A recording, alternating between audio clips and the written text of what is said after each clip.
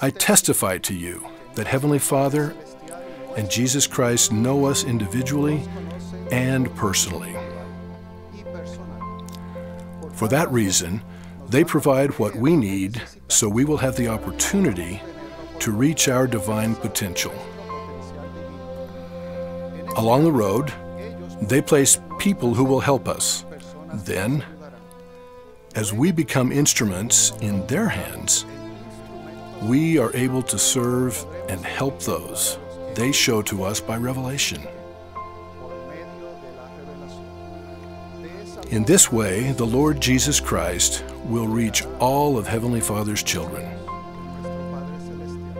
The Good Shepherd will gather all his sheep. He will do so one by one as they make good use of their moral agency after hearing the voice of his servants and receiving their ministrations. Then they will recognize his voice and they will follow him. Such personal ministry is integral to keeping our baptismal covenants.